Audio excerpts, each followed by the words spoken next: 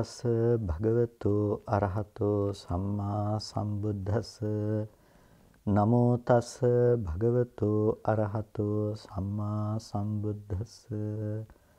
නමෝ තස් භගවතු අරහතෝ සම්මා සම්බුද්දස්ස.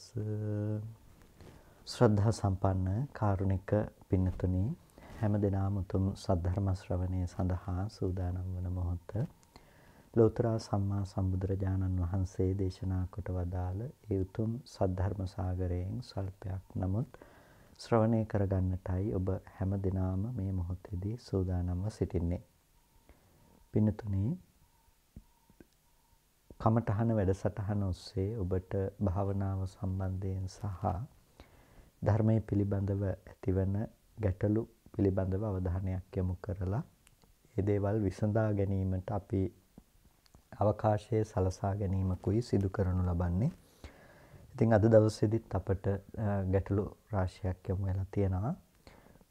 ඒ අතර මේ පළමු ප්‍රශ්නයේ විදිහට අපාවට බාහිරේ විවිධ වර්ණවත් හැඩතලයන් පෙන්වා දීමට සමත් සතර මහා ධාතු වල ඒකරාශී වීම පමණක් පවතී යයි ගැනීම නිවැරදිද එවිට එය භවයක් ලෙස ගැනීමක් නොවේද කියලා ඇත්තටම දැන් බාහිර සතර මහා ධාතු රූපයෙහි පැවැත්ම වර්ණ හැඩයන්ගේ පැවැත්ම කියන එක ප්‍රතික්ෂේප කරන්නේ නැහැ.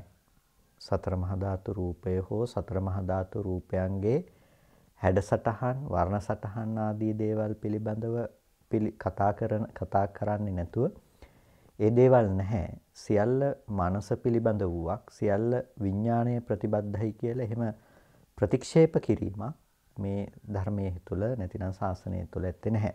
කියන්නේ විඥානවාදී පැවැත්මකට යන්නේ නැහැ. විඥාන විඥානවාදය පිළිබඳව, ඒ කියන්නේ සියල්ල මනස පිළිබඳව වූවක් පමණයි කියන එකත් ප්‍රතික්ෂේපිතයි. ඒ වගේම භෞතිකවාදයත් බාහිර මේ ධර්මයන්ගේ පැවැත්ම පිළිබඳව කරන කතාවත් බුදු සමය තුළ ප්‍රතික්ෂේපිතයි. මේ දෙකම බුදු සමය තුළ පිළිගැනීමකට ලක්වන අදහස් පිළිගැනීමට ලක්වන මතවාදයක් නෙමෙයි. මේ දෙකම ප්‍රතික්ෂේප වන දේවල්. ඒ කියන්නේ ඒකට හේතුව තමයි බුදුදහම තුළ කතා කරන්නේ හේතුම් පටිච්ච සම්භූතං. නැතිනම් හේතුන්ගේ සමவாயෙන් හටගන්න හේතුන්ගේ වැයවීම හේතුන්ගේ Nirodhe නිසා Nirodheට පත්වන දෙයක් විනා වෙනත් බාහිර පවතිනවා හෝ නොපවතිනවාය කියන දේ මත තර්කණය කිරීමක් නෙමෙයි. හැබැයි බොහෝ සූත්‍ර දේශනාවල අපිට මේ දකින්නට පුළුවන්කම තියෙනවා. බුදුරජාණන් වහන්සේ මේ ධාතු නානත්වය ආදී පිළිබඳව දේශනා කරන අවස්ථා. ධාතු නානත්වය නිසා පස්සනානත්වයක් පේනවා. ධාතු නානත්වය නිසා පස්සනානත්වයක් පේනවා කියනකොට මේ සතර මහා ධාතුවේහි නානත්වයක් තියෙන නිසා තමයි ස්පර්ශනානත්වයක් තියෙන්නේ. ස්පර්ශනානත්වය නිසා තමයි සංඥානානත්වයක් තියෙන. මේ ලෝකයාට හඳුනා ගැනීම මේ බඳු ආකාරයකට වෙනස් යන විවිධ ස්වરૂපයන්ගෙන් ඒක දකින්නට පුළුවන්කම තියෙන්නේ. ඒ ධාතුන්ගේ නානත්වය අපට හඳුනා ගන්නට ධාතුන්ගේ නානත්වය අපට දකින්නට තිබෙන නිසා. නිසා ධාතු නානත්වය තිබෙන තැනක තමයි අපිට පස්සනානත්වයක් දකින්න පුළුවන්කම තියෙන. ඒකට ඊටාම පැහැදිලිනේ. සතර මහා ධාතුවත් ඒ ධාතුව සහ ඒ ධාතුවේහි නානත්වය කියන දේ රූපයන්ගේ ඒ විදිහේ වෙනස් බවට හේතු වන ධාතු නානත්වය කියන එක ප්‍රතික්ෂේපිත වන්නේ නැහැ. ඒක ඒක භවයේ හැටියට දක්වන්නේ නැහැ. ධාතු නානත්වය නිසා තමයි පස්සනානත්වය, පස්සනානත්වය නිසා තමයි සංඥා නානත්වය මේ ආදී ලෙස අපිට ඒ පරයය හඳුනා ගන්නට පුළුවන්කම තියෙනවා. ඉතින් මේ ස්පර්ශ සහ ධාතුන්ගේ නානත්වය ගැන කතා කරන තැනදීම අපිට මේ ධර්මයන්ගේ පටිච්ච සමුප්පන්න බවත් ඒ වගේම මේ ධර්මයන්ගේ ස්වාධීන පැවැත්මක් නෙමෙයි කතා කරන්න කියන එකත් තේරුම් ගන්නට පුළුවන්කම තියෙනවා. ඒක තමයි අපි තේරුම් ගැනීමේදී ඊටාම වැදගත්ම කාරණාව බවට පත්වන්නේ. මෙතනදී අපිට භවය කියන දෙයින් රූපයන්ගේ භවය නැතිනම් රූපයන්ගේ පැවැත්ම කියන දේ අපිට හමුවන තැන පිළිබඳව අපි කතා කළොත් විඥාණයට රූපේ නිස්ෘත කරගෙන රූපය ඇසුරු වෙන්න පුළුවන්කම තිබුණොත් අන්න එහෙම තැනකදී භවෙහි පැවැත්ම තියනවා කියලා කතා කරන්නට පුළුවන්කම තියෙනවා. විඥාණයට රූපය අසුරු කරගෙන රූපේ නිස්ෘත කරගෙන පවතින්නට පුළුවන්කම තිබුණා. රූපය කියන එක කිසිම කලෙක ඔබට දැන ගැනීමට පුළුවන්කමක් ලැබුණේ නැහැ ස්වාධීනව. එහෙනම් රූපයක් ඔබ යම් කිසි විදිහකින් අතීත වූ රූපයක් දැනගත්තා නම් ඒ අතීත වූ රූපද? වර්තමානයේ තුල දැනගනු ලබනවා නම් යම් රූපයක් ඒ දැනගනු ලබන්නා වූ දේද? අනාගතයේහි දැනගනු ලබන්නේ නම් අනාගතයේහි දැනගනු ලබන්නා වූ දේද? ඒ සියල්ල ස්වාධීනව ඔබට දැනගැනීමට ඇති හැකියාවක් නැහැ රූපයම දැනගන්නවා කියන තැනකින් අතීත වර්තමාන අනාගත වූද සෑම අවස්ථාවකදීම මේ ආහාර ප්‍රත්‍යයෙන් හටගත්තා වූ රූපේම තමයි ඔබට දර්ශන කෘත්‍ය සම්පාදනය කරන දේ බවට පත් වෙන්නේ. එහෙම නැතිනම් ඇහැ රූප චක්කු විඥාන කියන මේ තුන්දෙනාගේ එකතුව නිසා තුන්දෙනාගේ සමவாய නිසා අපිට පෙනෙනවා කියන බව තියෙනවා. එතකොට පෙනීම කියන දේ කිසි කලෙක රූපේ බවට පත් වුණා කියලා ඒක රූපේ වෙත පමණක් පවරා දෙන්නට පුළුවන් කමක් නැත්තේ නැහැ. පෙනීම කියන දේ ඇහැට පමණක් පවරා දෙන්නට පුළුවන් කමක් නැත්තේ නැහැ. පෙනීම කියන එක සිතට පමණක් පවරා දෙන්නට පුළුවන් කමක් නැත්තේ නැහැ. වෙන් වෙන්ව විභජනයට ලක් කරනකොට අපි කියනවා මේ ධාතුනානත්වය ඒ වගේම පස්සනානත්වය මේ දේවල් තියෙනවා කියලා. හැබැයි මේ හැම තැනකදීම කතා කරන්නේ මේ හේතුඵල ධර්මයේ පැවැත්මක් විදිහට. ඒ කියන්නේ රූපය වෙනම බාහිර තියනවා තියෙන රූපය අපි ඇස් දෙකෙන් දකිනවා හිතින් ඒක දැනගන්නවා කියන එකක් නෙමෙයි. මේ ඔක්කොම ඇහැ රූප චක්කු විඥානාදී මේ ධර්මයන්ගේ සමவாயෙන් අපිට පෙනීම කියලා දෙයක් උපදිනවා. එතකොට පෙනීම කියන එක රූපේවත් පෙනීම කියන එක ඇහැවත් පෙනීම කියන එක සිතවත් නෙමෙයි මේ හේතුන්ගෙන් සකස් වන දෙයක්. එතකොට මේ හේතුන්ගේ වැයවීම නිසා හේතුන්ගේ බිඳීමෙන් පේන දේ බිඳීමට ලක් වෙනවා. එහෙනම් ඒ පෙනෙන දේ නැවත දකින්නට පුළුවන් කමක් නැත්තේ නැහැ. එතකොට මේ විදිහට අපිට දැකීම දැකීම් මාත්‍රයක් පමණක්ම වන බව පිළිබඳව ඒ යථාභූත ස්වභාවය පිළිබඳව අපිට නුවණක් පවත්වන්නට පුළුවන් මේ විදිහට මේ මෙනෙහි කිරීම ඇතුළත. අන්න එතනට තමයි බුදුරජාණන් වහන්සේලා මේ ස්වභාවය පිළිබඳව විවරණය කළේ. දැන් ධර්මය පැහැදිලි කර ගැනීමේදී අපිට හම්බෙනවා රූපායතනය පිළිබඳව කරන පැහැදිලි කිරීම. චක්කායතනය පිළිබඳව කරන පැහැදිලි කිරීම අපිට මේ රූප විභාගයේදී දකින්න පුළුවන්කම තියෙනවා. එතකොට සතර මහා ධාතුව සහ වර්ණ රූපේ පිළිබඳව එතනදී පැහැදිලි කරනවා. සතර මහා ධාතුව සහ වර්ණ රූපය පිළිබඳව කරන පැහැදිලි කිරීම එලෙස කරන්නේ රූපය පිළිබඳ මූලික හැඳින්වීම කරන්නට අවශ්‍ය නිසා.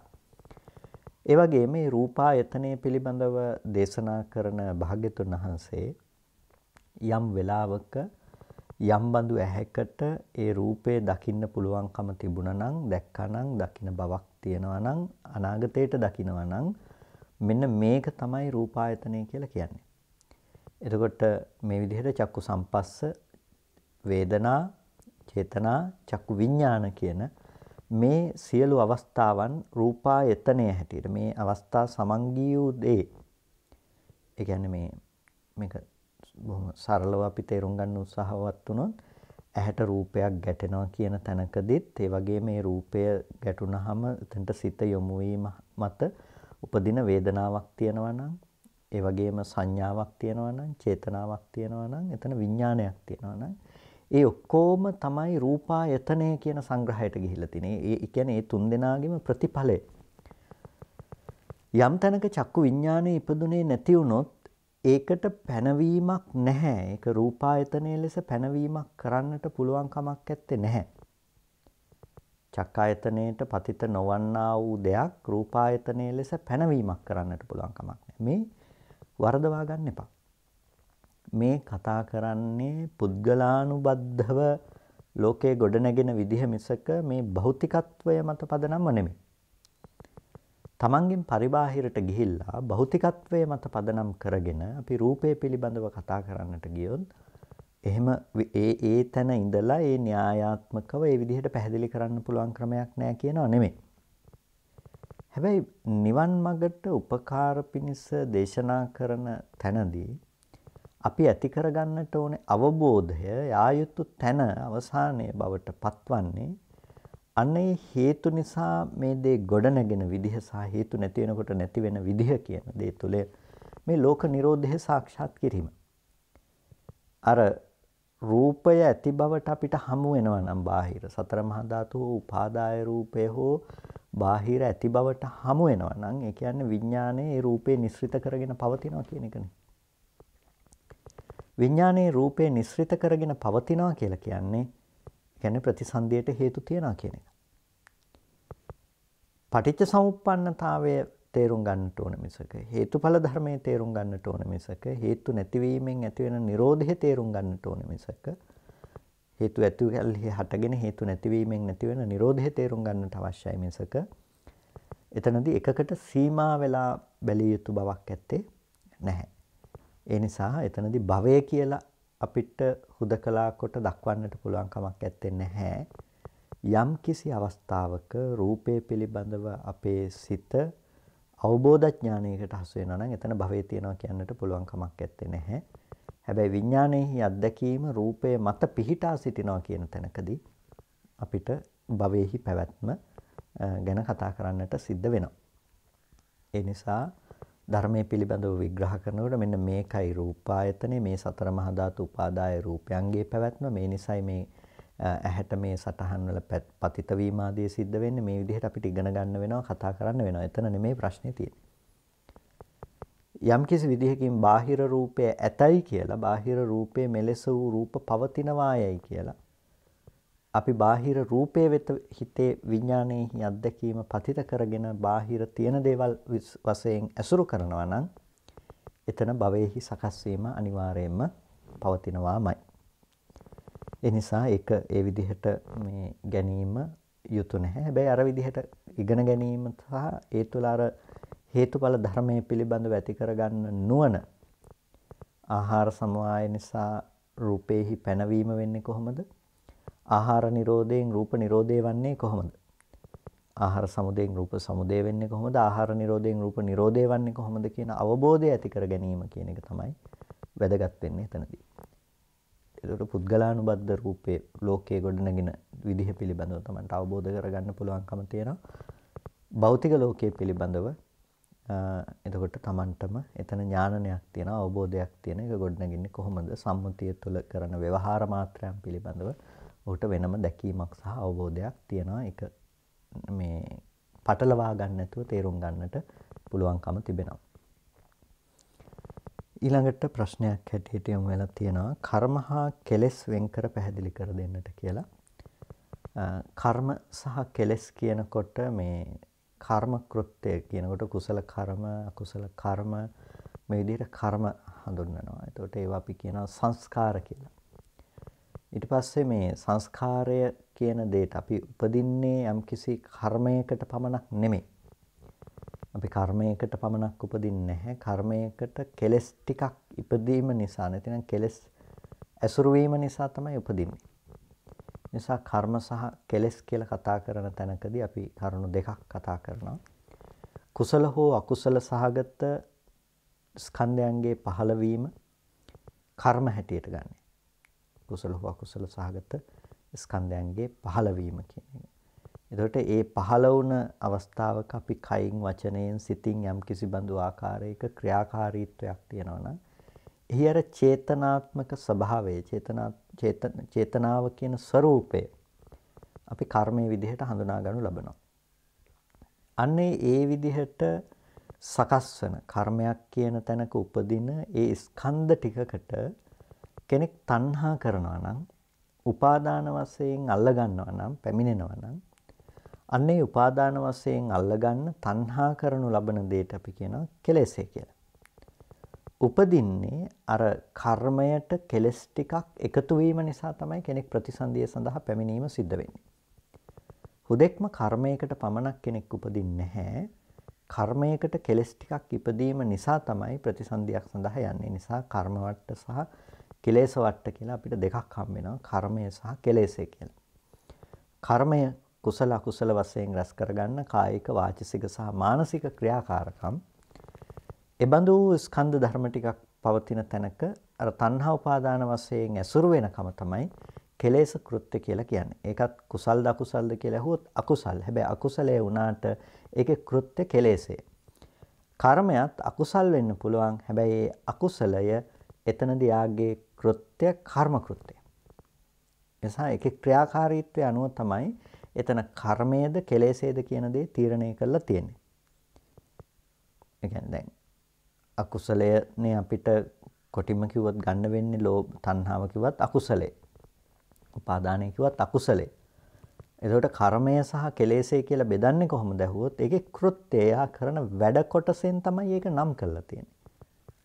එයා කරන වැඩ කොටසෙන් තමයි ඒක නම් කරලා තියෙන්නේ. මෙන්න මේ කොටස කරන කල එයා කර්මය කියන දෙයින් හඳින්වනවා. එයාගේ මේ කර්මය කියන දේ ප්‍රදාන නොකොට මෙබඳු ක්‍රියාකාරකමක් කරන තැනකදී ඒක කෙලෙසේ කියලා හඳුන්වනවා. පුද්ගලයෙක් වාහනයක් පදවාගෙන යනකොට ඔහු රියදුරෙක් බවට පත් වෙනවා. ඒ වගේම ඔහු ගිහිල්ලා පාසලක ඔහු ඉගන් උගන්වනකොට ඔහු රිය මේ රියදුරෙක් කියන තැනින් ඒ බඳු හැඳින්වීමකට නොගොස් ඔහු ගුරුවරයෙක් කියන තැනට යනවා. එතකොට මේ විදිහට ස්කන්ධ ටිකක් එක අවස්ථාවකදී ඒක කර්මය කියලා හඳුන්වලා තියෙනවා. කර්මය කියලා හැඳින්වෙන්නේ මොකද්ද? එයා ඒ වෙලාවේදී කරන කාර්යය අනුව අර වාහනය පදවාගෙන යෑම කියන ක්‍රියාව තුලින් ඔහු හඳුන්වනවා රියදුරෙක්. ඒ වගේම ඉගන්වීම සිද්ධ කරන වෙලාවේදී ඔහු කරන ක්‍රියාව තුළින් හඳුන්වනවා ගුරුවරයෙක්. අන්න ඒ විදිහට තමයි කර්මය සහ කෙලෙසේ කියන දේ අපිට හඳුනා ගන්නට පුළුවන්කම තියෙන්නේ. තණ්හා උපාදාන වශයෙන් යෙදෙන්නේ කෙලෙස්. ඒවා කර්ම කියන කෘත්‍ය සම්පාදනය කරන්නේ කර්මය කියලා කියන්නේ කුසල අකුසල වශයෙන් ඒ සිදු කරන අනිජ්ජාදි වශයෙන් සිදු කරනු ලබන සංස්කාරයන්ගේ පැවැත්ම සකස් කිරීම භාවිත කිරීම තමයි කර්මය කියලා හඳුන්වන්නේ. කර්මයකට තමයි කෙලෙසයක් යෙදෙන්නේ. කෙලෙස් සහිතව ඇසුරු කරන්නේ කර්ම අවස්ථාවක් තමයි. එතකොට ඒ කර්ම එකක් කෙලෙස් එකක් ඒක කෘත්‍ය මගින් ඒකේ ක්‍රියාකාරීත්වය මගින් තමයි ඒකේ කර්මයේද කෙලෙසේද කියන එක පිළිබඳව අපි වෙන් කරගන්නට වෙන්නේ.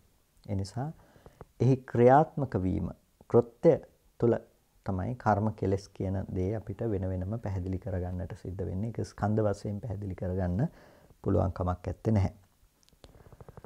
ප්‍රතිසන්දි විපාක හා ප්‍රවෘත්ති විපාක ගෙන දෙන කර්ම වෙන්කර හඳුනාගත හැකිදයි පැහැදිලි කර දෙන්න. ඇත්තට මෙහෙම කර්ම වශයෙන් වෙන් කරන්නට පුළුවන් කමක් නැත්තේ නැහැ. මේවා ප්‍රවෘත්ති විපාක ගෙන විද්දෙන දේවල් මේවා ප්‍රතිසන්දි විපාක ගෙන විද්දෙන දේවල් කියලා කර්ම වශයෙන් වෙන් කරන්නට පුළුවන් කමක් නැත්තේ නැහැ.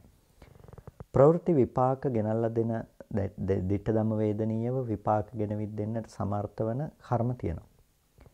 එකෙන් අදහස් කරන්නේ දැන් මේ දන් දෙන එක ditta ධම්ම වේදනීය විපාක ලැබෙනවා කියන එක නෙමෙයි. මේ මෙබඳු දෙයක් පූජා කළොත් ඒක ditta ධම්ම වේදනීය විපාක ලැබෙනවා කියන එක නෙමෙයි. එතනදී අර චේතනාව යෙදෙන විදිහ ප්‍රතිග්‍රාහකත්වය මේ දේවල් මුල් කරගෙන උපදින දෙයක්. ditta ධම්ම වේදනීය විපාක දීම පිණිස ලැබෙන කර්මය කියන එක. ඒක ප්‍රවෘත්තියෙහිම මේ භවයේහිම විපාක දෙනවා.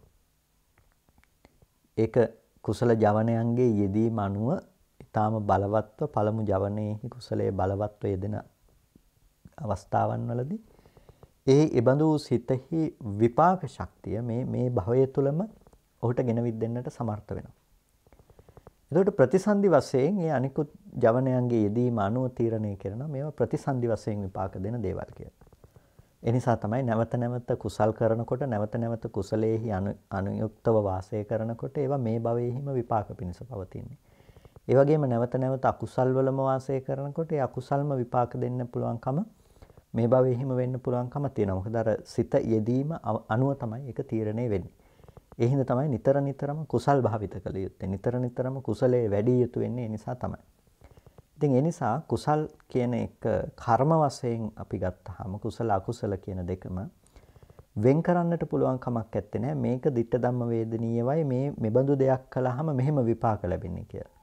ඒක වෙන් කරන්නට පුළුවන්කම තියෙන්නේ අර කුසල අකුසල ජවනයන් උපදිනකොට පළමු දෙවන තෙවන තුන්වන සතරවන ආදී මේ මේ අවස්ථාවන් වල යෙදෙන සිත් තමයි එක්ක ditta ධම්ම වේදනීය විපාක දෙනවා එහෙම නැත්නම් ප්‍රතිසන්දි ආදී විපාක ගෙනවිත් දෙන්නට සමර්ථ සිත් බවට පත් වෙනවාය කියලා අපිට එහෙම දක්වන්නට පුළුවන්කම තියෙන්නේ. ඒ යෙදීම එලෙස සිදුවන දෙයක් මිසක මුලින් කිව්වා වගේ අර අපි කරන දේවල් අනුව කටයුතු අනුව එහෙම තීරණය කරන්නට පුළුවන් කමක් නැත්තේ නැහැ. ඊළඟට ගැටලුවක් හැටියට යොමු වෙලා තියෙනවා චිත්තජ රූප සහ කර්මජ රූප සෑම සිතකින්ම උපදිනවාද එසේ නැතිනම් ඒවා උපදින සිත් මොනවාද සහ මෙම සිත් දෙකේ ආයුෂ කොපමණද කියලා පැහැදිලි කරලා දෙන්නට කියලා. නෑ චිත්තජ රූප සහ කර්මජ රූප උපදවනවා කියන එක හැම හිතකින්ම උපදවන්නේ නැහැ. එතකොට චිත්තජ රූප උපදවන සිත් ගත්තාම දැන් අපි භවාංග චිත්ත සන්තතිය ගත්තාම සහ ප්‍රතිසන්දිසිත අපි ගත්තොත් එහෙම ඒකෙදි ප්‍රතිසන්දිසිත මුල් කරගෙන ඒ කර්මජ රූප තමයි එතනින් ඒ සිත මුල් කරගෙන උපදින්න පටන් ගන්න. ඒකෙන් කර්මජ රූප උපදිනවා. ඒ වගේම ඒ සිතත් එක්ක සෑම සිතකින්ම උපදවනු ලබන රූප තියෙනවා. ඒ රූපවලට අපි චිත්තජ රූප කියලා කියනවා. එතකොට මේ රූපයන්ගේ ඉපදීම කියන එකේදී ප්‍රවෘත්තියෙහි උපදින මේ සිත්වල උපදින දේවල් රූපයන් ඒවා චිත්තජ රූප කියලා කියන්නේ.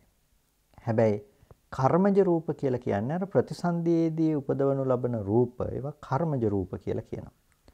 ඒ වගේම නැවත නැවත චක්කු ප්‍රසාද ආදී රූපයන්ගේ සකස් කිරීම සිද්ධ වෙන්නේ මේ ප්‍රවෘත්ති කර්ම මත නෙමෙයි. කියන්නේ දැන් උපදින මේ කර්මාදී සිත් මත නෙමෙයි ඒ දේවල් උපදින්නේ. ඒවා උපදින්නේ අර ප්‍රතිසන්දිය පැත්තෙන් ගෙන හේතු මුල් කරගෙන තමයි මේ ප්‍රසාදාදී දේවල් නැවත නැවත පහළ කිරීම සිද්ධ වෙන්නේ. ඒ හින්දා කර්මජ රූපයන්ගේ පහළවීම පිළිබඳව කතා කරනකොට කර්මජ රූපයන්ගේ පහළවීම සිදු කරනු ලබන්නේ මේ භවයේහි මේ වර්තමානයේහි සෑම සිතකින්ම සිදුවන්නක් ලෙස නෙමෙයි. ඒක අර ප්‍රතිසන්දි විඥානය ලබා දෙන විදිහට එබඳු මට්ටමකින් ඇතිවෙන පවාංග චිත්තසංතතියෙහි පැවැත්මක් තියෙනවා නම් අන්න ඒ මට්ටමක ඉඳලා කර්මජ රූපයන්ගේ පැත්මට උපකාර කරන තැනක් තමයි අපිට හඳුනා ගන්නට පුළුවන්කම තියෙන්නේ.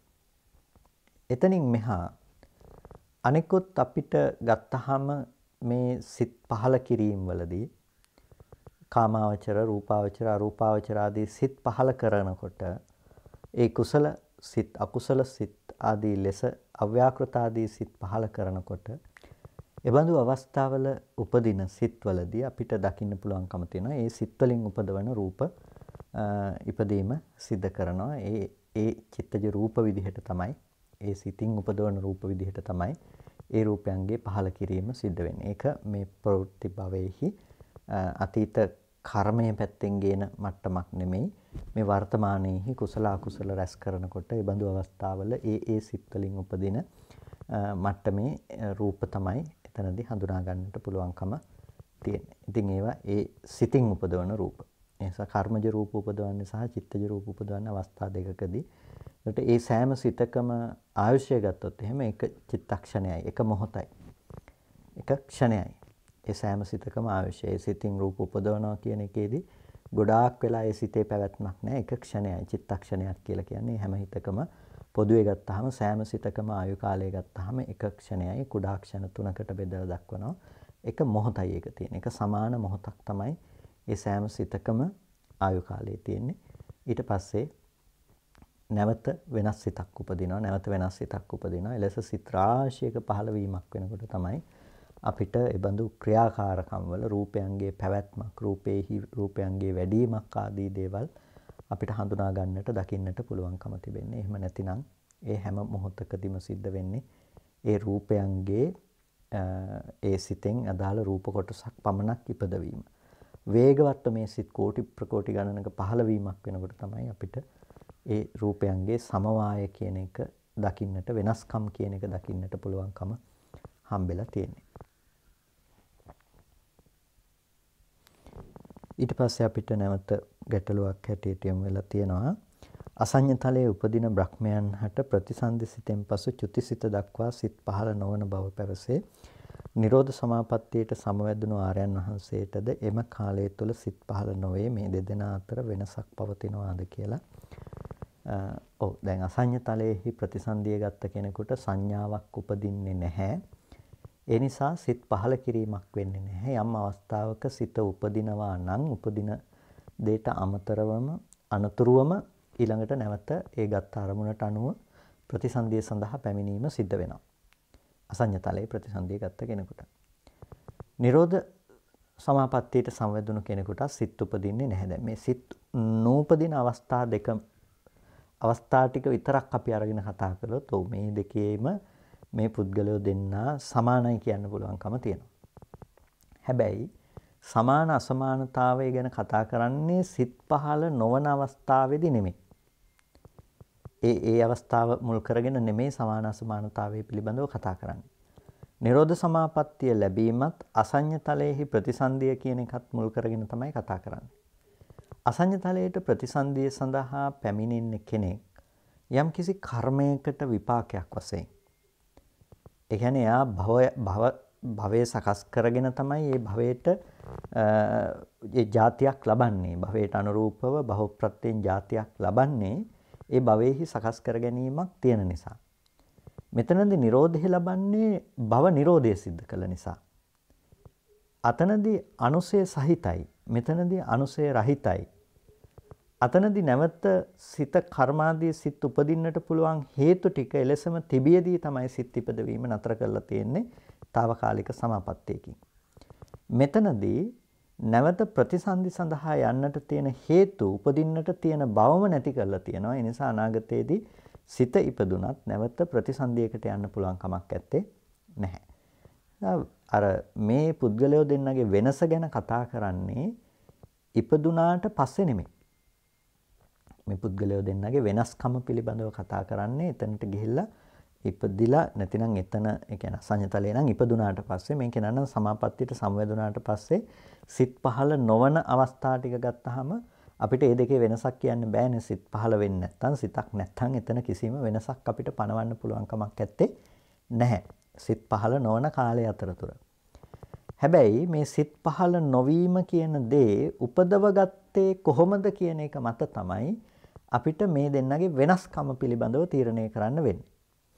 කෙනෙක් සංඥාව අප්‍රකට කිරීම තුළ එයා සංඥාව කියන දේ ඉවත් කරලා අසඤ්ඤ තලයකට සිත උපදවලා තියෙනවා. සිත පහළ වීමක් වෙන්නේ නැහැ. හැබැයි එයාට නැවත සිත උපදවන්නට සහ ප්‍රතිසන්දිය ලබන්නට හේතුව තියෙනවා. ඒකයි සිතක් උපදිනවත් එක්කම එයා ප්‍රතිසන්දියක් ගන්නෙ. සිතේ ඉපදීමත් එක්කම එයා ප්‍රතිසන්දිය ලබනවා. එතකොට අපිට මේක හිස් කරන්න පුළුවන් කමක් නැත්තේ නෑ.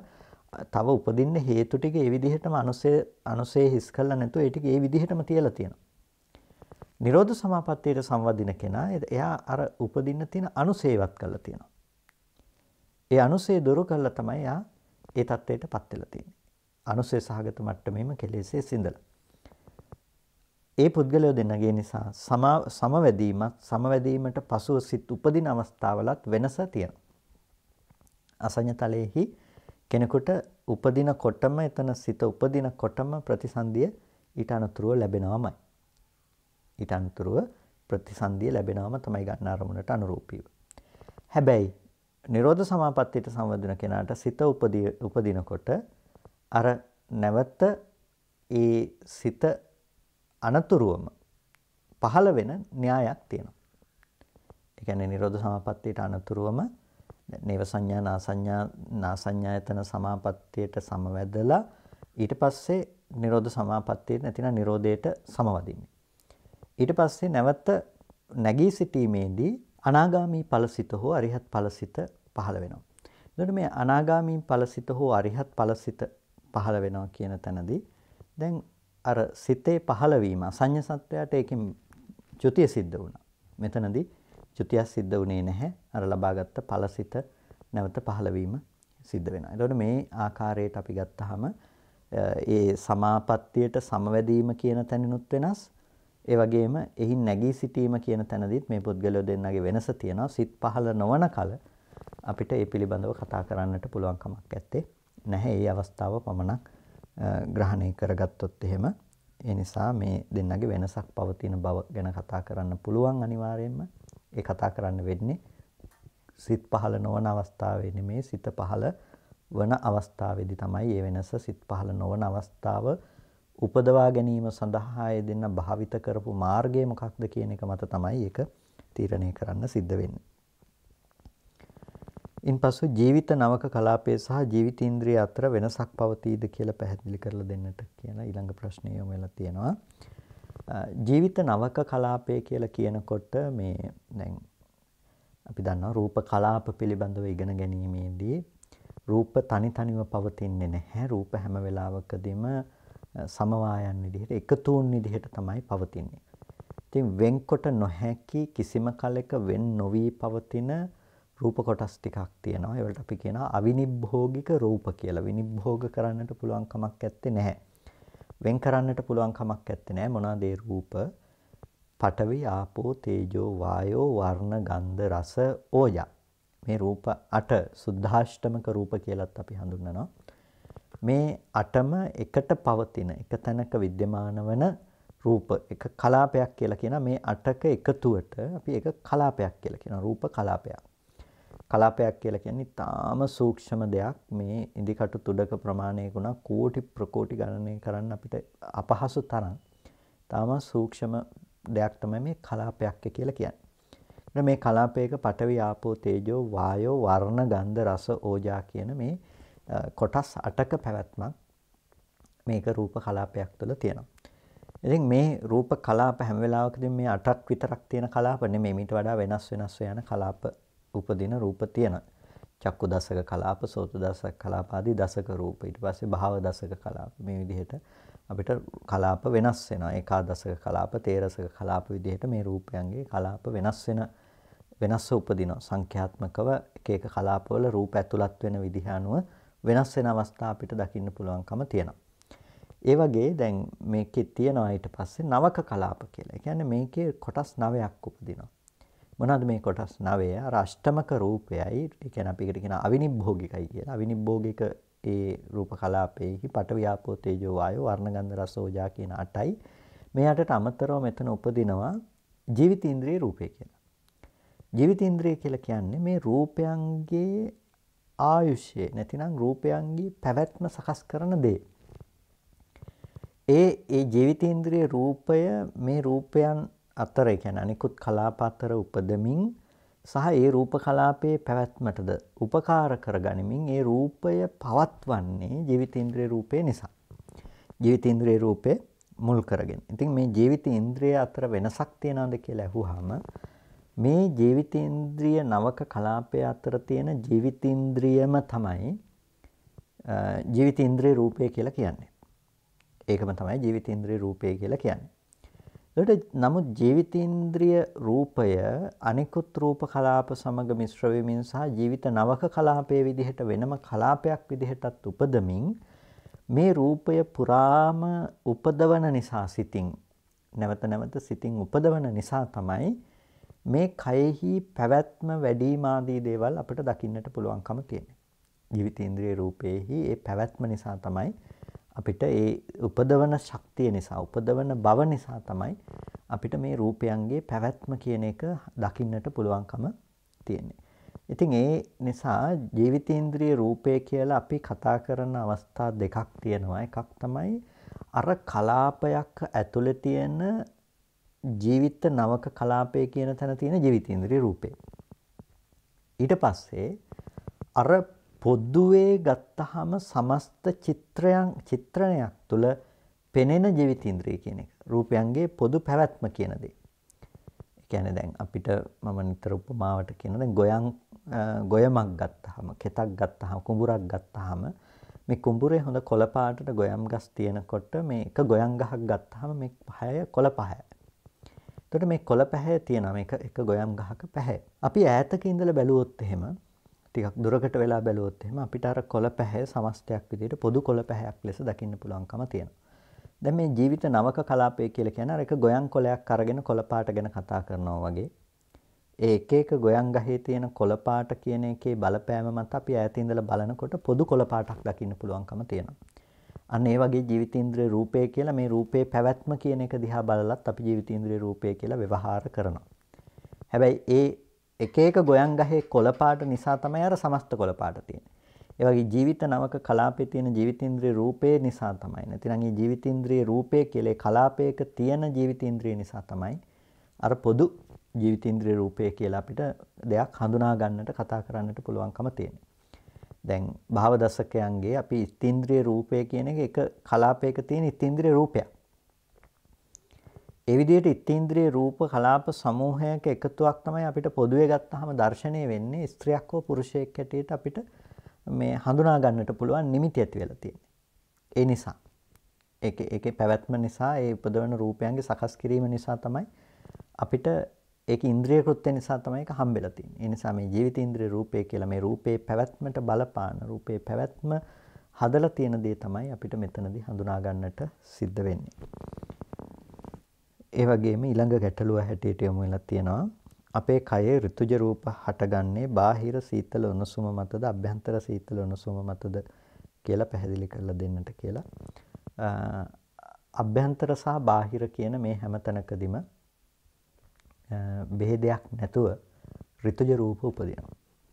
ඒක අභ්‍යන්තරද ඍතුජ රූප ගැන කතා කිරීමේදී අභ්‍යන්තරද බාහිරද කියන කතාවක් මේ රූප සමුත්ථානයේදී නැහැ. රූප සමුත්ථානයේදී අභ්‍යන්තරද බාහිරද කියන එකක් ගැන කතා කරන්නේ නැහැ. චිත් කම්මජ චිත්තජ ඍතුජ ආහාරජ කියන දේ ගැන කතා කරන්නේ. එතකොට යම් අවකාශ ධාතුවක් ඇසුරු කරගෙන රූප සකස් වීමේදී ඒ තැනක සකස් වෙන කම්මජ චිත්තජ ඍතුජ ආහාරජ රූපයන්ගේ පැවැත්මක් උපදින්න පුළුවන්කම තියෙනවා. ඒකට එතනින් පරිබාහිර වෙනකොට ඒක කම්මජ රූප මේ නැතුව චිත්තජ රූප නැතුව ඍතුජ රූපයන්ගේ සකස් වීම වෙනම තියෙන්නට පුළුවන්කම තියෙනවා. ඉතින් ඒ විදිහට රූප ඉපදවීම තමයි ඒකට වෙනස් වෙලා තියෙන්නේ. ඍතුජ රූප කියන දෙයට අභ්‍යන්තරද බාහිරද කියන වෙනසක් දකින්නට පුළුවන්කමක් ඇත්තේ නැහැ වෙනම. නිසා ඒ ඔක්කොම එක සමානයි. ඍතුජ රූප කියන එකේ අභ්‍යන්තර සහ බාහිර බෙහෙදයක් අපිට දක්වන්නට පුළුවන් කමක් ඇත්තේ නැහැ. ඒ කායිකව ඇතිවෙන සීතෝෂ්ණාදී දේවල් තියෙනවා නම් ඒකත් ඍතුජ රූපම තමයි. ඒ කියන්නේ එතන ඍතුජ ප්‍රත්‍යයෙන් උපදින ඍතුව මුල් කරගෙන උපදින රූප තියෙනවා. ඒ ඍතුජ මට්ටමින් උපදින දේවල් නම් ඒවා ඍතුජම තමයි. ඒකේ අභ්‍යන්තරද බාහිරද කියන වෙනස් බවක් අපට දක්වන්නට පුළුවන් කමක් නැත්තේ නැහැ. සා කායිකව ඇති වෙන ඒ දේ ඍතුජ මට්ටමින් වෙන්න පුළුවන් කමක් තියෙනවා. ඒ වගේම අනිකුත් බලපෑමෙන් වෙන්න පුළුවන් කමක් තියෙනවා. ඒක පොදුවේ ගන්නට තියෙන දෙයක්. රූප උපදවීම කියන දේ පැත්තෙන් ගත්තාම අපිට යම් අවස්ථාවකදී අපිට චිත්තජ රූප හෝ ඍතුජ රූප වල බලපෑම මත වෙනස් වෙනස්ව උපදින්නට පුළුවන්කම තියෙනවා. ඒතර චිත්තජ රූප උපදිනකොට මේ කය මුල් කරගෙන විතරයි ඒක උපදින්න පුළුවන්කම තියෙන්නේ. ඍතුජ රූප මුල් කරගෙන උපදිනකොට ඒක බාහිරත් උපදිනවා ආධ්‍යාත්මිකවත් උපදිනවා. එතකොට ආධ්‍යාත්මික කය මුල් කරගෙන උපදිනකොටත් ඕන ඍතුජ රූප ඊට අනුරූපව වෙනස් වීම මත වෙන්න පුළුවන්කම තියෙනවා. කායිකව වෙනස් වෙනකොට උණුසුම් සිසිල් බව ඇති වෙන තැනකදී ඒ ඍතුජ රූපය මුල් කරගෙනත් ඒක උපදිනවා. ඒ වගේම චිත්තජ රූපාදී මුල් කරගෙනත් ඒක සිද්ධ වෙනවා. ඒ දෙකම මුල් කරගෙන වෙන්න පුළුවන්කම තියෙනවා. ඒක අපිට හරියටම කියන්න බෑ. මේක මේ අවස්ථාවේදී මේකෙදි මේ චිත්තජ රූප විතරයි වෙනස් වුනේ අනිත් රූප වෙනස් වුනේ නෑ කියලා. මොකද එකක වෙනස් වීම සිද්ධ වෙනකොට අනිත් රූපයන්ගේ ඉපදීමට ඒකේ බලපෑම ඒ ඒ රූප කලාපයන්ගේ තියෙන නිසා අපිට ඒක දක්වන්නට පුළුවන් කමක් නැත්තේ නැහැ. නමුත් පොදුවේ ගත්තාම මේ කයේ ඍතුජ රූප මේ බාහිර ඍතුජ රූප කියලා ඍතුජ රූප එහෙම බෙදන්නට පුළුවන් කමක් නැත්තේ නැහැ. පොදුවේ ඍතුජ රූප ඍතුජ රූපම තමයි. ඊළඟ ගැටලුව හැටියට යොමු වෙලා තියෙනවා නිරෝධ සමාපත්තියට සමවැදී සිටින කාලය තුල සිත හරහා උපදින කර්ම රූප සහ චිත්තද රූප නවතිනවාද කියලා ඔව්. එතකොට නිරෝධ සමාපත්තියට සම්වදිනකොට සිත් උපදින්නේ නැත්නම් ඒ සිතින් උපදවන්නා වූ ඒ රූපයන්ගේ පහළවීම කියන එක නැති වෙනවා. රූප විතරක් වෙනමම පහළ වෙන්නේ නැහැ චිත්තජ රූප සිත නැතිව. ඒ අදිෂ්ඨානයේ සමග පෙර කළ අදිෂ්ඨානයේ සමග ඒ රූප ධර්මයන්ගේ පැවැත්ම වෙනම සිද්ධ වෙනවා. එතකොට ඒ ආහාරජ හෝ ඍතුජ රූපයන්ගේ පැවැත්ම එතනදි සිද්ධ වෙනවා. නමුත් ඒ චිත්තජ රූපයන් ඒ අවස්ථාවේදී සිතින් උපදවන රූප ඒ නිරෝධ සමාපත්තියට සංවැදී සිටින කාලය පුරාවට ඉපදීමක් සිද්ධ වෙන්නේ නැහැ. ඒ සිතෙහි ඉපදීම සිදු නොවන නිසා. ඒ වගේම බ්‍රහ්මයන් තුල අකුසල් සිත් පහළ වෙනවා නම් මෙම අකුසල් සිත් මොනවාද යන්න සහ එම අකුසල් සිත් බ්‍රහ්ම ලෝකවල හටගන්නා සිත්වල නොපෙන්වන්නේ ඇයිද කියලා පැහැදිලි කර දෙන්නට කියලා බ්‍රහ්ම ලෝකෙදී උපදින්නට පුළුවන්කම තියෙනවා පටික සිත් උපදින්නට පුළුවන්කම තියෙනවා ඒ වගේම බ්‍රහ්ම ලෝකයේදී ඒ බ්‍රහ්මයන්ට ලෝභ සහගත, ditthi සහගත සිත් උපදින්නට පුළුවන්කමක් තියෙනවා. එතකොට මේ දෝමනස්සේ අකමැත්තක් උපදින අවස්ථා ඇතැම් අවස්ථාවල අපිට සූත්‍රයන් තුළ දකින්න පුළුවන්කම තියෙනවා. ඒ වගේම දික්ටිගත අවස්ථා බාක බ්‍රහ්මයාට වගේ මිත්‍යා දෘෂ්ටීන්ට පත් වුණ අවස්ථාත් අපිට හඳුනා ගන්නට පුළුවන්කම තියෙනවා. ඒ නිසා ඒ බඳු අකුසල සිත් පහළ වීම තියෙනවා. ඒ ඒ අකුසල සිත බ්‍රහ්ම ලෝකයේ උපදින්නේ රූපාවචර සිතක් විදිහට නෙමෙයි. කියන්නේ එතන ඉපදුනත් ඒක කාමාවචර විපාක ගෙනල්ලා දෙන්න පුළුවන් කාමාවචර සිතක්. ඒක ඒ කියන්නේ හැම වෙලාවකදීම සිත බෙදන්නේ ඒ ඒ භූමියට අනුයාතව. ඒ කියන්නේ දැන් මේ මනුස්ස ලෝකේ ඉපදුණු මිනිස්සෙක් රූපාවචර කුසල් සිතක් වඩනවා. ඊට පස්සේ ඒක එයා ඒ කුසලයේ මගින් ඒ සමාපත්තිය ඒ ධානය උපදව ගන්නවා. විපාක සිතක් ලබනවා. ඒ කියන්නේ ඒක අර ප්‍රතිසන්දි විපාකයක් ගෙනල්ලා දෙන්න එකට අනුරූපීව ඒකට ප්‍රතිසන්දි විපාකය ගෙනල්ලා දෙන්නට සමර්ථ කර්ම සහ විපාක කියන මට්ටමින් තමයි ඒක කතා කරන්නේ.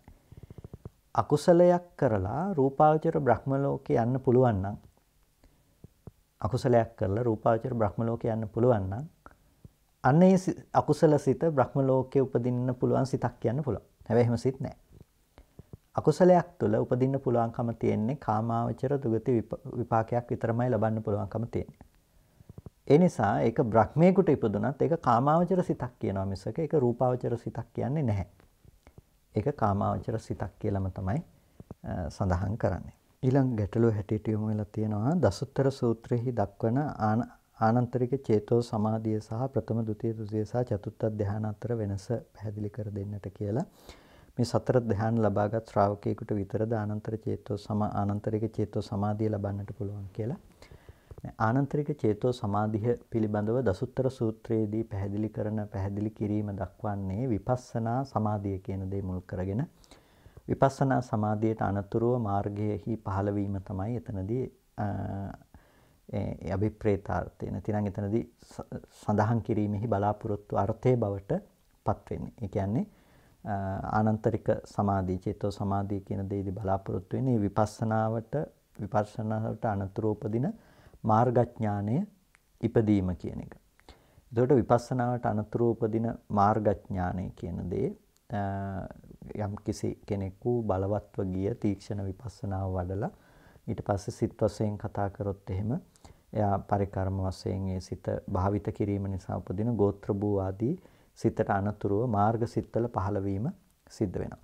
එතකොට අන්න ඒ එබඳු මට්ටමේ ගෝත්‍ර භූසිත දක්වා තියෙන විපස්සනා සහගත මානසිකාරය කියන දේ තමයි මෙතනදී කතා කරන්නේ. ඊට පස්සේ ආනන්තරිය කියලා කියන්නේ ඒ ගෝත්‍ර භූසිතට අනතුරුවම මාර්ගසිතෙහි පහළ වීම වෙන අවස්ථාව. ඊට අනතුරුව මාර්ගසිත පහළ වෙනවා. එතකොට අන්නේ අනතුරුව අනන්තර බවක් අතරක් නැතුව ඉපදීම තමයි එතන සමාධියේ ඉපදීම ලෙස අර්ථ ගන්නවන්නේ.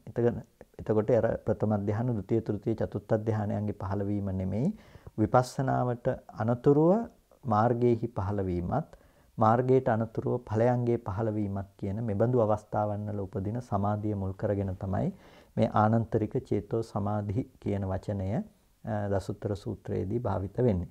ඒක අර ධ්‍යාන ලබා නොගත්ත කෙනෙකුට උනත් විපස්සනාව තුළ ආනන්තරික චේතෝ සමාධියක් උපදවන්නට පුළුවන්කම තියෙනවා. ඒ නිසා ධ්‍යාන ලබා ගැනීම අනිවාර්යයි කියන එක කියන්නට පුළුවන් කමක් නැත්තේ නැහැ. ධ්‍යාන ලබා නොගත්ත කෙනෙකුට උනත් මේ ආනන්තරික චේතෝ සමාධිය ලබන්නට උපදවන්නට පුළුවන්කම තිබෙනවා.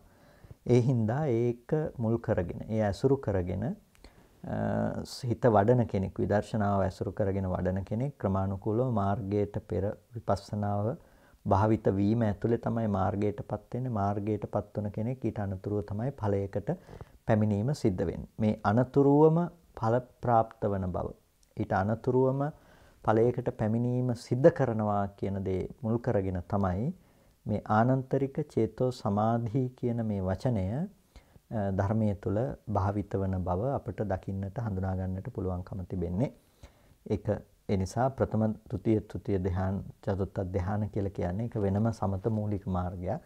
ඒකෙදී ඒක රූපාවචර මාර්ගය හැටියට දක්වන්නේ. ඒක විදර්ශනාවට සම්මිශ්‍රණ වෙන්නේ නැහැ. ආනන්තරික චේතෝ සමාධිය කියන තැනදී ඒක විදර්ශනාව මූලික කරගෙන මාර්ගයේ උපදවන අවස්ථා. සමත යානිකයාටත් සමතේ නොවඩා විපස්සනාව පැත්තෙන් යන විපස්සනා යානිකයාටත් පොදුවේ ගත්තාම මේ ආනන්තරික චේතෝ සමාධිය උපදවන්නට ආනන්තරික චේතෝ සමාධිය ලබන්නට පුළුවන්කම තියෙනවා.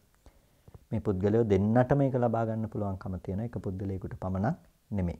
ඒ හින්දා මේක පොදුවේ තමයි අපිට මේ මේ පුද්ගලයන්ට විශේෂ කොට තමයි කතා කරන්න සිද්ධ වෙන්නේ. එම නැතුව අර ධ්‍යාන සහ සම්මිශ්‍රණය කර ගැනීමෙහි අවශ්‍යතාවයක් මෙතනදී ඇත්තේ නැහැ. මෙන්න මේ ආකාරයට අපිට අද දවසේදී මේ තව ගැටලු රාශියක් යොමු වෙලා තියෙනවා. ඒවා ටිකක් දීර්ඝ ලෙස අපිට විස්තර කරන්නට සිද්ධ වෙන ගැටලුව අපි ඉදිරි වැඩසටහන තුළදී යනිකුත් දහම් ගැටලු සඳහා අවශ්‍ය පිළිතුරු ලබා දෙන්නට අපේක්ෂා කරනවා. ඉතින් කල්පනා කරගන්න සද්ධර්ම ශ්‍රවණය කරලා යෝනිසෝ මනසිකාරය පවත්වාගෙන හැම දිනෙකම වටිනා කුසලයක් සිද්ධ කරගන්නට යෙදුණා. මේ සිද්ධ කරගත්ත සියලුම කුසල ධර්මයන් මේ වෙලාවේදී අපි අනුමෝදන් කළ යුතු අයට අනුමෝදන් කරමු. පළමුවෙන් අපට අර්ථයෙන් ධර්මයෙන් අනුශාසනා කරන අපේ ධර්මාචාර්ය අවසරයි මාංකඩවල සුදස්සන ස්වාමීන් වහන්සේට අවසරයි මාංකඩවල නන්දරතන ස්වාමීන් වහන්සේට ස්වාමීන් වහන්සේලා දෙනමටම උතුම් නිවනින් සැනසීම පිණිස මේ කුසල් හේතුපනිශ්‍රේම වේවා කියලා ප්‍රාර්ථනා කරනවා. ඒ වගේම මේ සීල කුසල් අපි දෙවියන්ටත් අනුමෝදන් කරමු. දෙවියෝ සතුටින් සාදුනාදයෙන් මේ පින් අනුමෝදන් වනු ලබත්වා. දෙවියන්ට උතුම් නිවනින් සැනසීම පිණිස මේ කුසල් හේතුපනිශ්‍රේම වේවා කියලා සාදුහු කියලා දෙවියන්ටත් පින් අනුමෝදන් කරන්න. ඒ වගේම අද ධර්මදේශනාවෙහි දායකත්වයෙන් කටයුතු කරනවා ඕස්ට්‍රේලියාවේ පදිංචි රාණි රණතුංග මහත්මිය විසින් එතුමිය බලාපොරොත්තු වෙනවා පුතුන් දෙදෙනාගේ ජන්මදිනය නිමිති කරගෙන රත්නත්‍රය අනන්ත ගුණානුභව බලයෙන් සෙත් පතන්නට ආශිර්වාද කරන්නට බලාපොරොත්තු වෙනවා. ඒ වගේම මිය පරලෝ යන්නට යෙදුණු දෙමව්පියන් ඇතුළු පවුලේ ඥාතීන්ට පුණ්‍ය අනුමෝදනා කරන්නටත් බලාපොරොත්තු වෙනවා. කල්පනා කරගන්න ඔබ හැම දිනා නමින්ම මේ පරලෝ යන්නට යෙදුණු සෑම සියලු ඥාති වර්ගයාටම මේ පින තමන් කළ පිනක් මෙන් සතුටින් සාධනාදයෙන් අනුමෝදන් වන්නට ලැබේවා දෙමව්පියන් ප්‍රධාන ඒ සියලු ඥාතීන්ට අමා මහ නිවනින් සැනසෙන්නට මේ කුසල් හේතු උපනිශ්‍රේම වේවා කියලා සාදුහු කියලා ඥාතීන්ට පින් අනුමෝදන් කරන්න. ඒ වගේම ජන්මදිනය සිහිපත් කරන අංජන සහ අමල්ක කියන පුතුණුවන් දෙපළටත් අපි සෙත් ප්‍රාර්ථනා කරනවා සුබ ජන්මදිනයකටත් නිදුක් නිරෝගී සුවපත් භව චිරජීවනයේ ලබා ගැනීම සඳහා ඒ වගේම අනුරප්‍රිය සහ අමන්දා යන ඒ පින්නතුන්ගේ පවුලේ සියලු දෙනාටම සෙත් ප්‍රාර්ථනා කරන්නට බලාපොරොත්තු වෙනවා. ඒ පුතණුවන් දෙපළ ඇතුළු ඒ නම් සඳහන් කරන්නට යෙදුණු අනුරප්‍රිය සාමන්දා යන පවුලේ සියලු දෙනාටත් දායකත්වයෙන් කටයුතු කරන ඕස්ට්‍රේලියාවෙහි පදිංචි රාණි රණතුංග මහත්මිය ප්‍රධාන. පින්වත් සෑම සියලු දෙනාටමත් මේ උතුම් කුසලය නිදුක් නිරෝගී සුවපත් බව චිරජීවන සම්පන්නිය සලසාගෙන කායික මානසික සැනසෙල්ල උදා කරගෙන අමා මහ නිවනින් සැනසීම පිණිසම හේතුපනිශ්‍රේම වේවා කියලා සාදු කියලා පින් අනුමෝදන් වන්න හැම දිනාටම තෙරුවන් සරණයි.